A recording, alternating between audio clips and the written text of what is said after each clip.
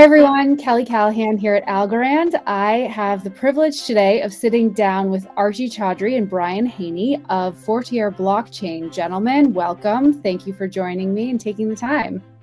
Thank you so much for having us. We really appreciate it. Awesome. Thank you, Kelly. Thanks, guys. Uh, give me, before we get into this, give me a little bit of your backgrounds. Brian, um, you're on my left. Why don't you go first? What's, uh, where'd you come from and how'd you get into this space? Uh, yeah, so uh, I was, I guess, at the early part of last year, finishing up a, a research fellowship at Stanford Law School, and uh, I wanted to make a little bit of money, so I ended up uh, joining the MIT Bitcoin Hackathon.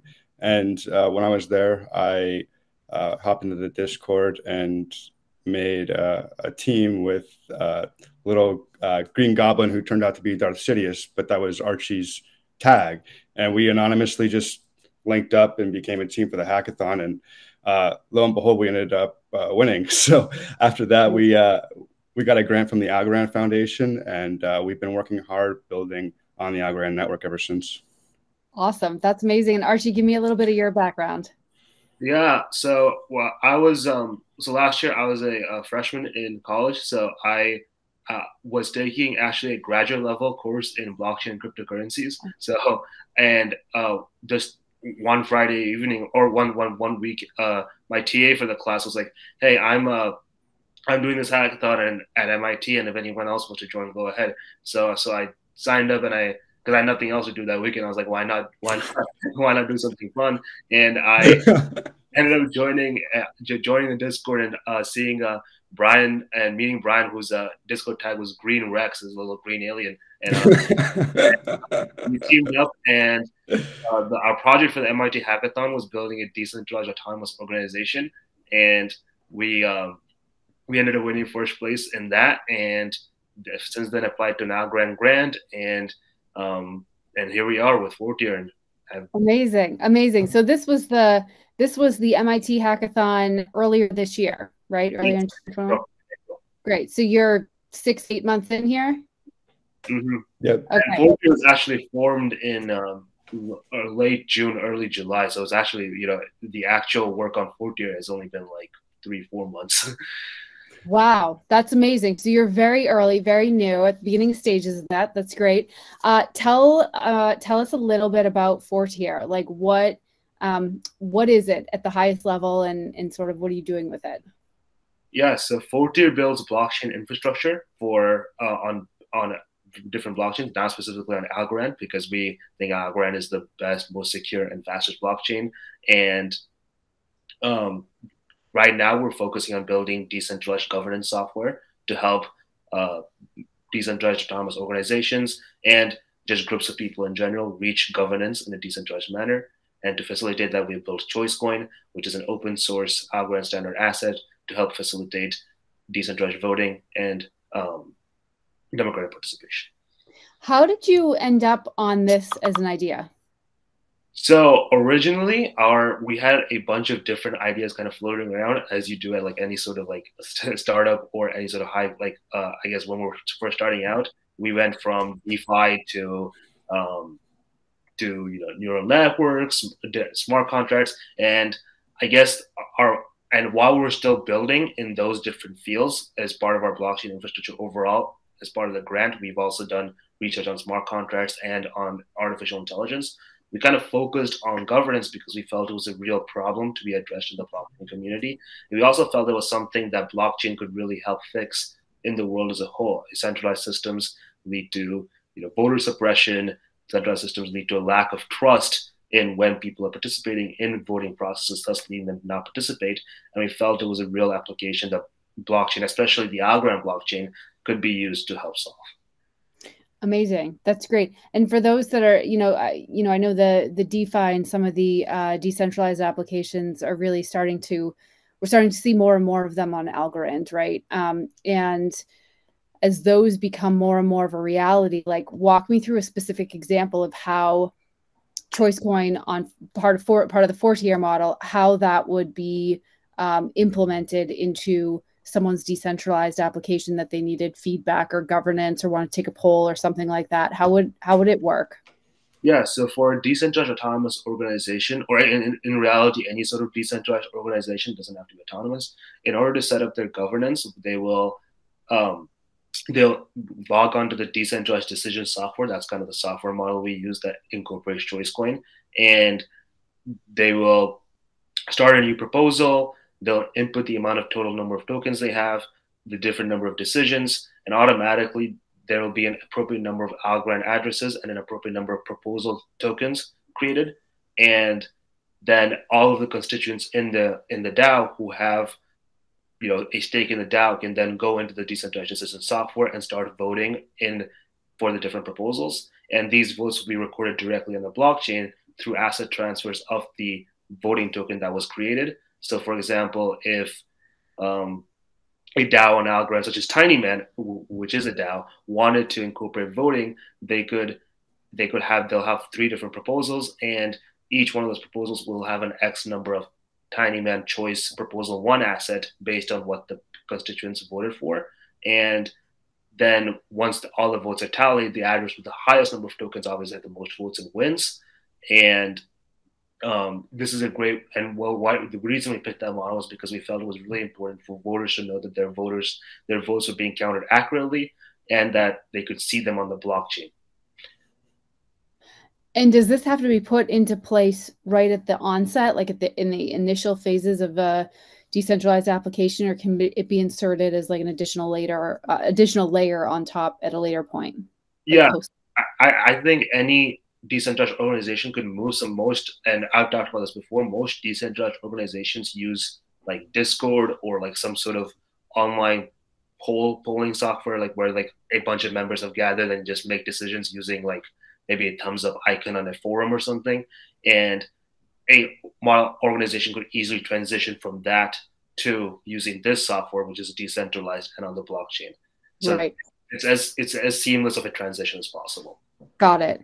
And what a central, what a you know a centralized organization I'm trying to think of an, an, example right? But would they be able to leverage the capabilities as well or okay.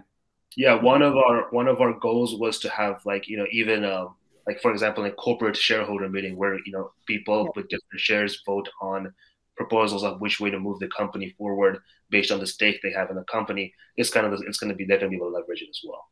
Got it. Amazing um, Brian, with your background, uh, have you patented some of the stuff that you all have worked on? Uh, yeah, so we've uh, filed three patents in our first three months. Um, I think that's one of the really great things that we're doing as part of our relationship or partnership with the Algorand Foundation is we've actually uh, licensed most of our patents under uh, the Apache open source software license. So one of the things that really allows ChoiceCoin to stand out is we have a lot of developers all around the world building on the ChoiceCoin GitHub every day. And that's because those patents are open source under the Apache license. Amazing. How many people do you have using um, ChoiceCoin right now? Do you know? Uh, I think 9,700. Wow. That's amazing. Yeah.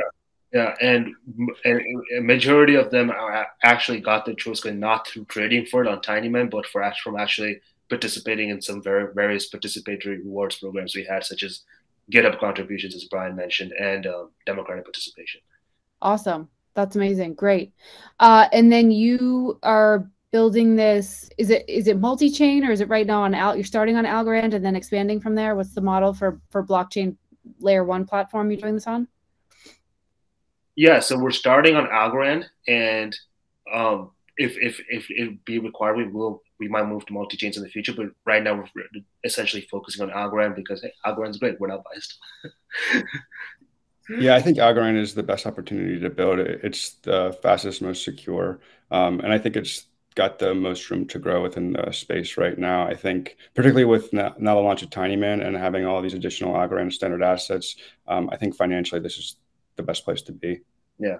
I mean, and also it's just like the community is just so incredible. I mean, from the day one, from you know starting in the hackathon, yeah, now you know people from like Fabrice from the Algorand Foundation, so and Addy, yeah, they're incredible, and getting to work with the best developers and minds in the world every day is an awesome opportunity for us that we really appreciate. Both people from Inc and the foundation have just been so helpful. We're, in Liz Baron, yeah, yeah. How so so you guys you both built this yourselves, you're both developers. You built this from the ground up. Um, uh, resources, documentation, the community. You've said a little bit about that. Now, uh, uh, how what would you say to somebody who is newer to blockchain and is looking to get started and doing something? What would you know, knowing that you came out of a um, a university hackathon at MIT, uh, what would you what would your um, suggestions be to someone that's new to the space that wants to get involved? Uh, I would say the best way to learn is just to start building and interacting. So, like, if someone wants to get into the blockchain space, and I think Algorand is a great for doing that because you know, there's so many different community-run projects. Like we've leveraged the Algorand Python SDK, which is like a software development kit specifically built for Algorand in Python, and this helps because that makes developing on Algorand significantly you know more streamlined and easier than say developing on Ethereum where you know you have to get into Solidity. So it's a lot more simple. I would say like the biggest tip I can give is just find something you really enjoy, start building, and then if you get stuck, ask questions because someone will always be there to help you. Just also check out ChoiceCoin. We have awesome developer rewards programs or ways for people to get involved. If you write a letter to your congressman about blockchain, we'll give you uh, ChoiceCoin. If you uh, work on developing or implementing decentralized decisions, we'll give you ChoiceCoin. So a lot of really great opportunities there too. That's amazing. So you're encouraging activism. I love it. Mm-hmm. I love it. It's great. Yep. And so, yeah. And so, just for people getting involved in Fortior, I guess that's a great call to action, Brian, for people that want to get a little more hands on. What about some of the decentralized applications that are launching on Algorand? How do they um, think about, it, you know, engaging with Fortior or what's sort of the call to action there for that group? Yeah, I think definitely if a decentralized organization or application wants to implement decentralized decisions in their software, uh, they can we're, we're always available. Just uh, on our website there's an email you can contact us. And we're planning on uh, launching this software around end of this year start of next year q1 2022 around. And yeah i mean if, if your organization wants to move from like that centralized clunky model to having a streamlined decision process i definitely think you know we can help with that. Not biased but we can help with that that's great. That's great. And are you doing? Are you doing? Do you do code audit and do you do reviews and all that, leading up what's left for you for the rest of the year before you launch? Yeah, we have to we have to get our software launched on first on testnet, then do maybe a security audit to make sure everything is working properly, and then we'll launch to mainnet probably the start of next year. That's kind of the plan. We're actually so the we're going to first the ChoiceCoin itself, the ChoiceCoin community is also it's open source and it's also a DAO. So we're going to start off by using these decentralized decisions for ChoiceCoin yeah. itself, and people within the ChoiceCoin community will be able to vote and um and, and that that's that'll be kind of proven. There's actually an initiative called uh, Choice Charities where a certain amount of ChoiceCoin will go to a chari- charitable organization, and that's what people will be voting on for the first uh, iteration of the vote, and then it'll move to any decentralized should be able to use it. That is amazing. This is great. Listen, Brian, Archie, great work. Amazing stuff going on at Fortior. I'm glad we took a little bit of time to sort of put a spotlight and focus on what you're doing and what's coming from the two of you. I think this is fantastic. And thanks for taking the time to share. Thank you so much, Keli. So much for having us. Really appreciate it.